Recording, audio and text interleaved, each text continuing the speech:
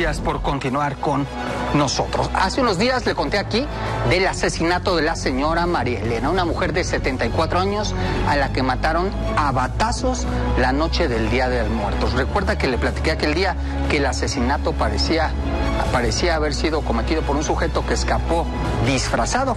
Bueno, pues ponga atención a las imágenes que le voy a presentar. Son del momento junto, justo del escape de ese sujeto. Va usted a verlo escapar, pero ¿sabe qué es lo peor? Que ese sujeto literalmente se le escapó de las manos a un agente de la Policía de Investigación de Ciudad de México. Lo tuvo en sus manos el policía y se le fue. Vamos a verlo. Es el momento justo en que un feminicida escapa del lugar en el que acaba de cometer el crimen. Lleva incluso la ropa ensangrentada. Ese hombre que lo corretea es un agente de la Policía de Investigación de la Fiscalía de Justicia de Ciudad de México. Pero el asesino se le fue de las manos. Sucedió el pasado primero de noviembre en una vecindad de la colonia Aguilera en la alcaldía Escaposalco. La víctima era esta mujer.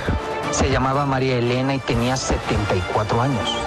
Era una mujer muy eh, feliz, era eh, una persona que siempre nos vio a todos como sus hijos, siempre estaba eh, cuidándonos. Sin que hasta ahora se sepan los motivos, el hombre la asesinó a golpes. Ese sujeto fue identificado como Iván Zambrano, de 38 años. Hasta ahora no se sabe por qué la atacó con un bat y ahí la mató. Este es el momento justo en que el asesino escapa. Es la vecindad.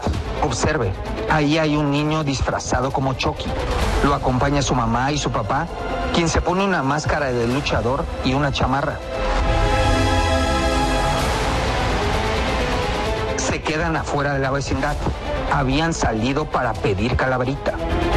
Pero ahí se detienen, pues algo ocurrió. Otro vecino sale del lugar. Metros adelante hay otras personas mirando hacia la entrada.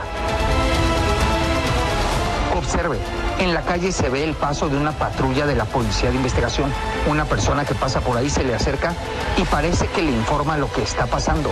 Instantes después, la patrulla se echa en reversa y ahí se queda parada. Observe, el asesino sale de la vecindad, lleva ropa blanca y se aprecia perfectamente que la sudadera está manchada completamente de sangre. Esta mujer que está con él es una hermana de la víctima. Es una señora de 77 años que apenas puede, pero intenta jalarlo para detenerlo. Nadie hace más por pararlos. Observe, de pronto el agente de la policía de investigación se acerca despacio, trae unos papeles en la mano. Cuando está a un metro, el asesino se zapa de la señora y corre. El elemento de la PDI va tras él. La cámara captó la corretiza y el momento en que se pierden a lo lejos y entre la oscuridad.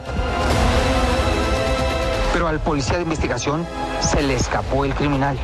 No pudo detenerlo. Personas que estaban en la calle no se les hizo raro ver al sujeto con las ropas ensangrentadas. Después explicarían que por ser Día de Muertos creían que estaba disfrazado. Así fue como logró escapar el asesino. De hecho, lo que más queremos es justicia, porque no, eh, no es justo que una, un asesino esté libre. Este es su rostro. Obsérvelo bien. La Fiscalía de Feminicidios ya tiene su rostro, conoce su nombre, también dónde vivía.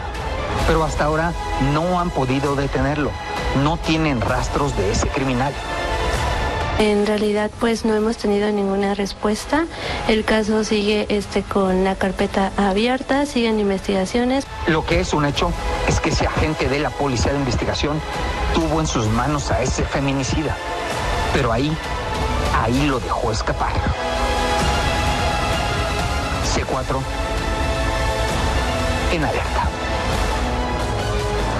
¿Cómo ve las imágenes? Una tristeza lo que sucedió en ese momento. La gente lo tuvo en sus manos y se le escapó. ¿Sabe qué es lo peor?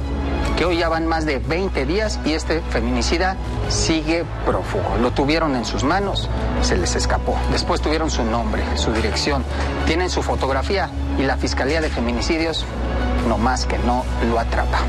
Hasta aquí llegamos con la información. Le agradezco el favor de su atención. Le pido que se quede en la programación de Canal 6 y esta noche cuídese mucho.